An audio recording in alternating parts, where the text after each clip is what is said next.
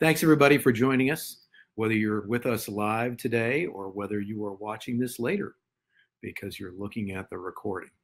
Glad to have you here today. Let's start where all good stories start. What is it about these four words?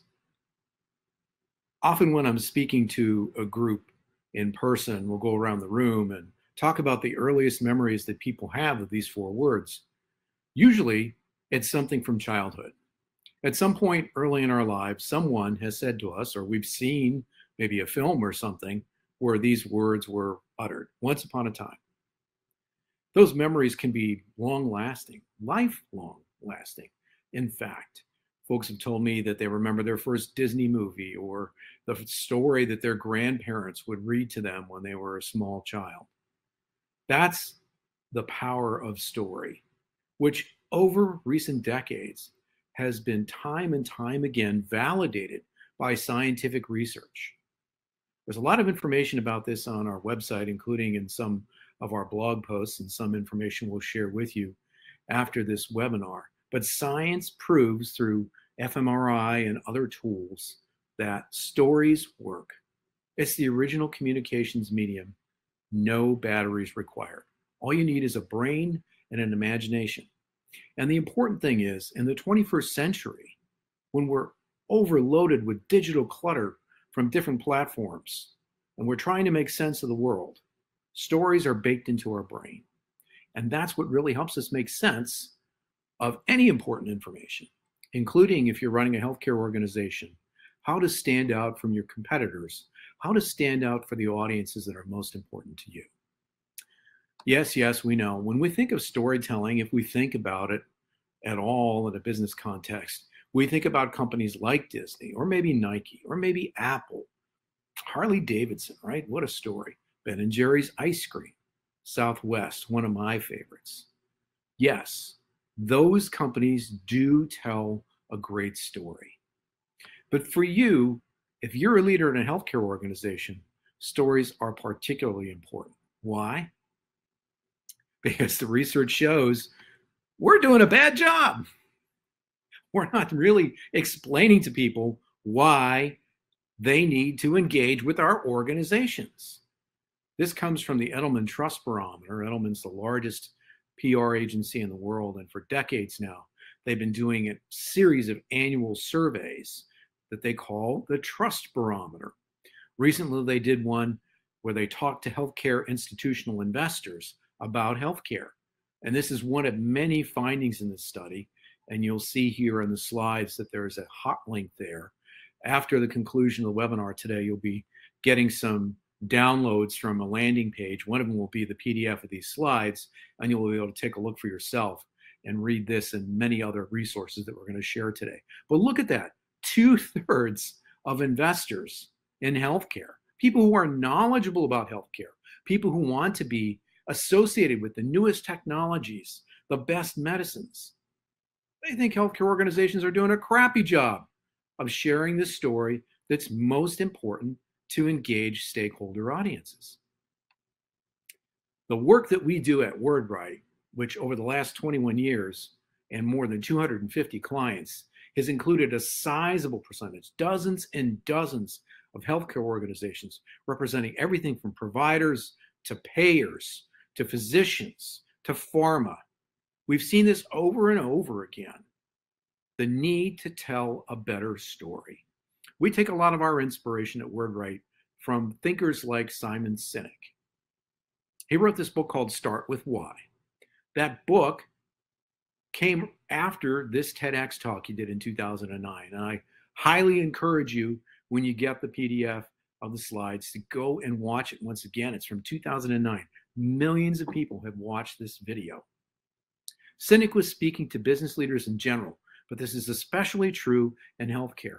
People don't buy what you do, they buy why you do it. That's the differentiator. What you do simply proves what you believe. Multiple choices of doctors, medicines, providers, etc., etc., etc. People buy why why you do what you do, not what you do. I, I love this. A- Andrew um, Stanton, one of the greatest thinkers behind this monster. Uh, well, they've done Monsters Inc. too, uh, called Pixar, right? We got a new movie out uh, that's a teen romance. Check it out if you want. Uh, the Elementals. This is another TED talk. It's a great talk. He's an amazing storyteller himself. And he tells a great story at the beginning of his talk. Not suitable for work, I'm just going to warn you right now, but it is very appropriate. The greatest story commandment make me care. Folks, healthcare. We start with an advantage if we're in healthcare because people are looking to healthcare organizations across the spectrum of companies and organizations and institutions to do something great. But you just can't stop there. You have to make an emotional and intellectual connection with the audiences that are most important to you. And let's talk about you, right? You're here because you want to learn more about how to better share your organization's story. In two some decades of working with healthcare organizations, here's some things that we've learned. You're really great at what you do, but the people who are going to hire you, whether that's consumers or whether that's hospitals uh, selecting your solution, software or hardware or whatever, they usually aren't as smart about what you do as you are. And what does that mean? That means you need to be sharing a narrative that's unique, compelling, and most of all, memorable. After the pitch meeting, after they've looked at your pretty videos on your website, after they've met your sales team, they need to make a decision. They need to remember you and they need to remember why they want to work with your organization rather than any other. Now, one of the things that we've seen, or rather a number of the trends that we've seen that kind of constitute what you see here on the slide, you know, I was at an event last week and somebody said we're in the um, aftermath economy. I don't know, post COVID, whatever you want to call it, right? There's a lot of turmoil out there, right? Uh, I start the day reading Becker's Hospital Review, and then I, you just read the headlines that come in in my email, and they're all over the place. Uh, hospitals uh, laying people off, closing facilities, hiring, et cetera, et cetera. In healthcare, we're seeing this across the spectrum.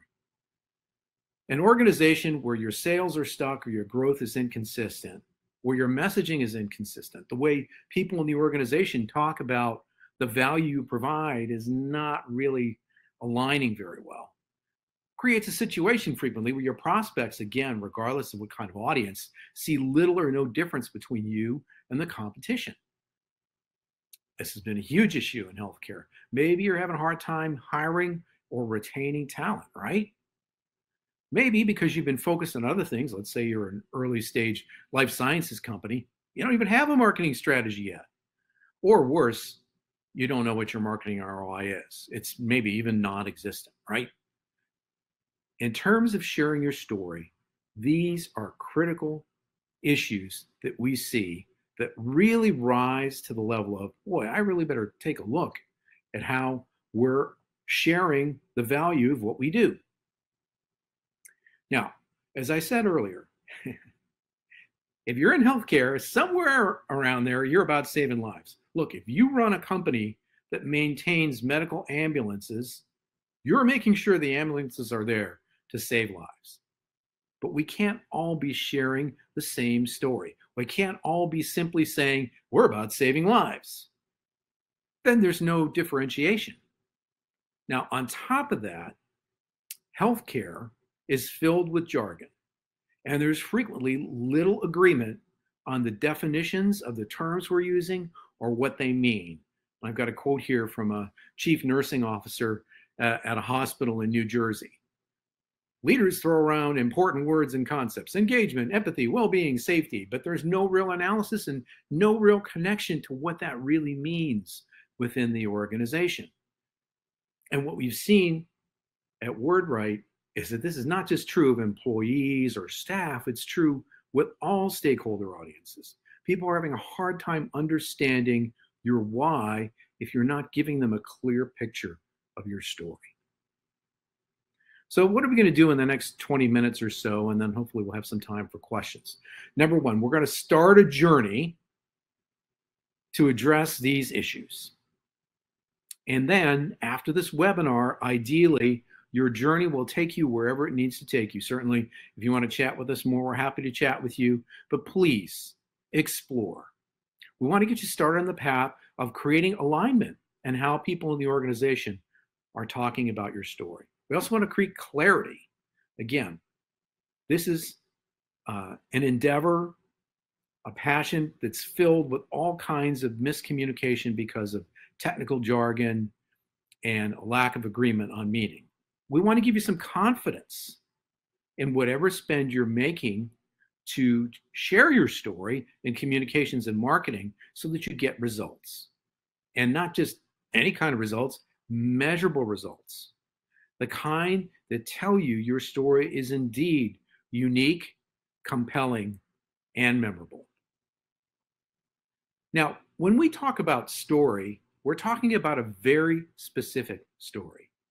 In healthcare, we tell lots of stories on a daily basis.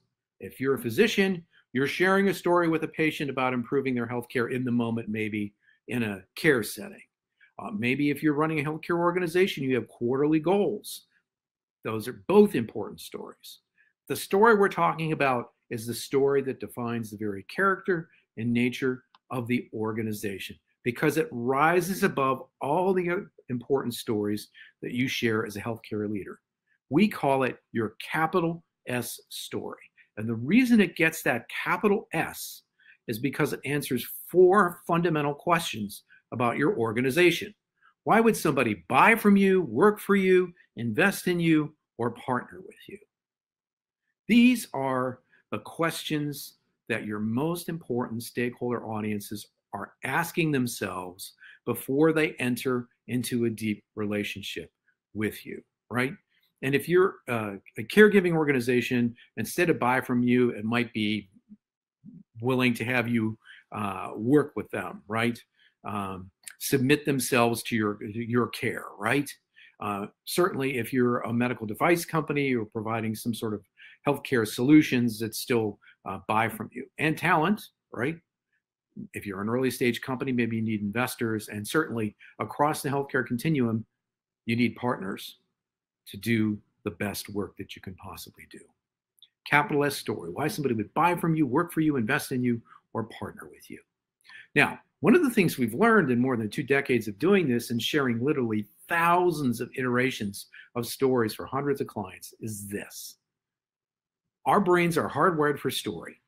Science proves it. And there are common stories that we see that are frequently shared in healthcare. Now, I've got five examples here. These aren't the only kinds of stories that we see in healthcare, but these are common. Your origin or your founder's journey. If you're an early stage life sciences company, you're living this right now. Why did the founders of the company decide to take the risk and go out and work on a medicine or some sort of healthcare solution that may take them years to develop before they see the first dollar in terms of revenue? It's a dream or a vision or a passion, a different way of doing something, right? This is happening every day in healthcare. Headlines across the spectrum of news media are filled with stories that explain a vision or a dream. It, and similarly, in innovation, a different way of delivering care, a different way of accounting for the technology or the solutions that make care possible. Maybe it's a coming of age. Frequently, what we'll see is that folks are working in an organization on a solution, and people will look at it and say, Yeah, I don't really understand that. And then something changes in the environment. All of a sudden, what they've been working on for a long time is the rage, and everybody wants it. And certainly an epiphany, right? You're working on one kind of solution, and by accident, you discover a drug that does something else, right? Without getting into a big controversial discussion, look at Ozempic and Wegovy, drugs developed for one specific purpose that are now being applied for another purpose. And quite literally, for the companies that make those drugs, it could change everything, right? Now, okay, Paul, so that gives me an idea of what a capital S story is. It's going to answer why somebody should buy, work, invest, or partner with me. Where do I need that story? Well, quite simply, everywhere. It's got to be on your website, especially the homepage. Good old Mr. Google tells us that's still the first place most people go when they are looking at your website. Now, they're going to bounce out in less than three seconds, generally speaking, unless they're interested. And if they stick for longer than three seconds, they're going to go to your About page. Oh, this is an interesting solution. I think I might want to engage with this provider, or I might want to look into this company's medicines, et cetera, et cetera. Are these people? Headed straight to the About page. Now, here's one of the things that we see where a lot of healthcare organizations fall down. You need to carry through your story into your social media profiles, especially LinkedIn. What you're selling, and one level or another, if you're in healthcare, is the expertise of your people. And folks who want to engage with your organization are going to go to the number one site for user generated content, i.e., you're not going to lie or use advertising jargon to make yourself sound better. What does your LinkedIn profile say? Where did you go to school? What's your experience? What certifications do you have?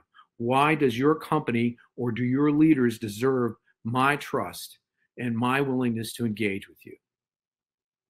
If your organization does any sort of PR and you do press releases, your story needs to be there too. In the PR biz, there's this term called boilerplate. You may not know what it is, but we've all seen it. Whatever the press release says, there's going to be a paragraph in there that says about WordWrite or about your healthcare organization. And whatever is in that paragraph needs to be your story. Because when somebody's Googling your organization, Google is going to pull up one of those cool snippets. And that snippet is going to come from that press release boilerplate as well as perhaps some other sources. So you don't want it to be filled with jargon and nonsense because you want people to engage with you. So give them the story. Sales materials. If your organization is using printed sales materials or online sales materials or videos, it doesn't matter. That story needs to be there.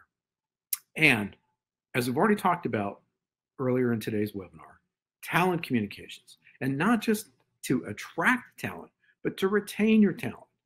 Why are your people there working for you? What gets them up out of bed every day and coming to work at your company? Now, Simon Sinek's written three books. His most recent book is called The Infinite Game. I highly recommend it.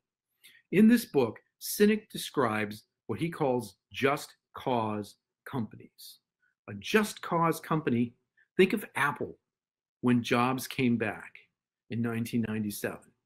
He told his team that he wanted to put a dent in the universe. He didn't want to blow it up, he didn't want to knock it off course. He had this huge goal. So many healthcare organizations are trying to literally cure cancer or solve some difficult healthcare issue.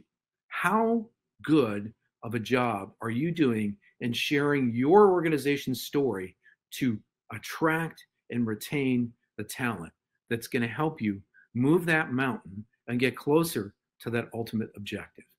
So you need to have your capital S story in all of these areas. To bring this to life, and we're going to hope that the technology cooperates with us today, I want to share some lessons from three healthcare organizations across the spectrum and share with you what, in our estimation, they've done right and what they could do better to be sharing their capital S story. So let's take a look here. The first example is the story that kind of explains it all.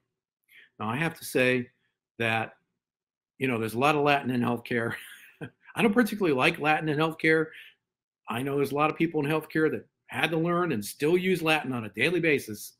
Generally speaking, you're not communicating with people who are in love with Latin, right? You can use that to your advantage, though. And I think that's one of the things that the company I'm going to show you did well in explaining their name and what they do. So be willing to make healthcare understandable. So, what exactly does the name Protenus mean? Protenus is a Latin word meaning to move forward or onward. What does the name Protenus mean to us? At Protenus, we believe that the delivery of care should be without risk. So we are doing our part. one patient, one customer at a time, with a single focus to move healthcare forward, onward, empowering healthcare to eliminate risk. We have cultivated the largest collaborative user community of compliance experts and peers, which is called PANDAS, continuing our efforts to eliminate risk and move healthcare forward. Onward, together. together.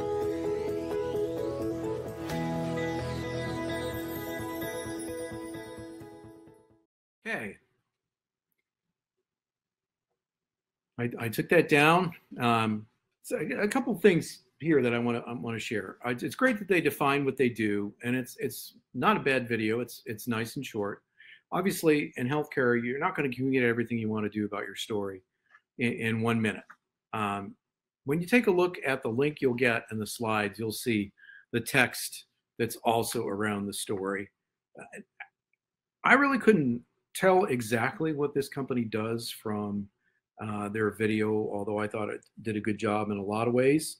Um, it's a compliance company, and they focus on digitized patient data.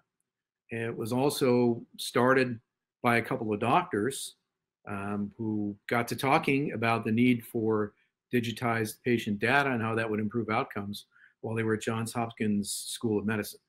I think I would have liked to seen that even in a short video uh, about this company.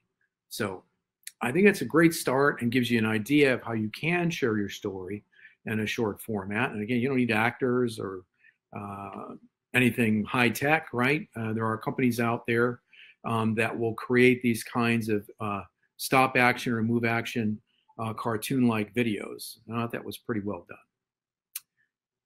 I talked a little bit about the why today.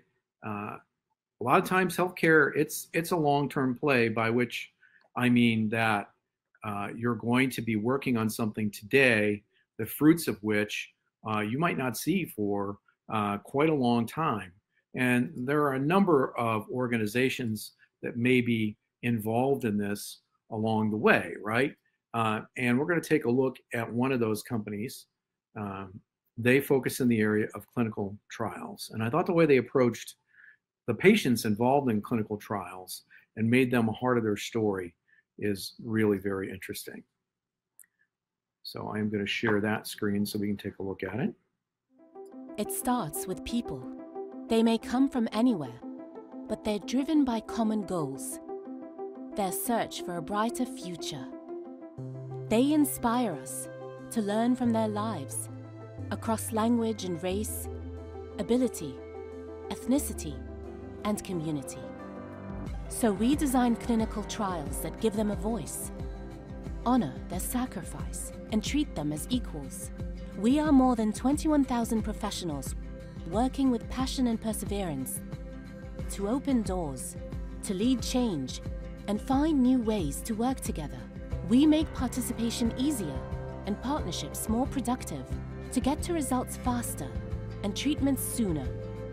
So every patient's step forward brings them one step closer to a cure, to care, to hope delivered with heart.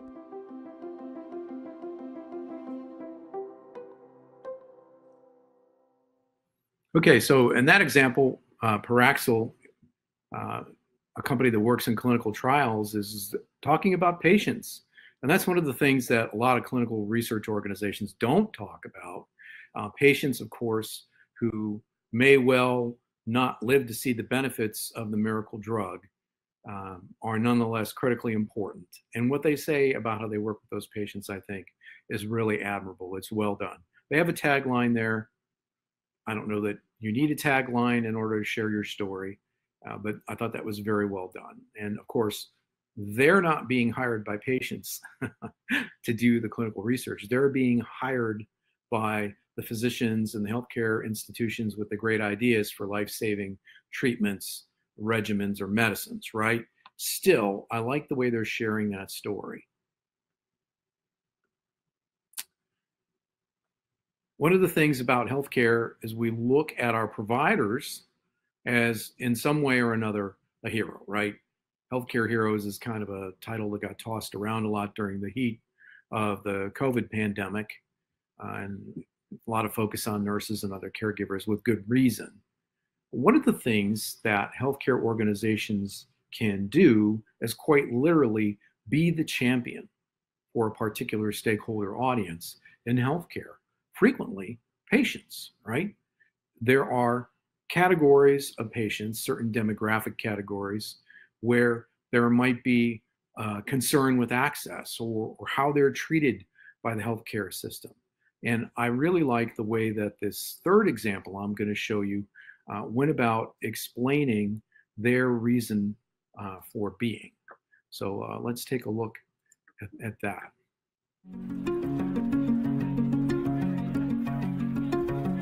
Simple fact is, we think that healthcare in many ways is a little broken. I think the latest stats we've seen is about 25% of women are, are satisfied with their OB/GYN experience. My name is Nihal Faruqi. I'm the president and co-founder of Viva Eve. My name is Dr. James Gohar. I'm the co-founder and CEO of Viva Eve.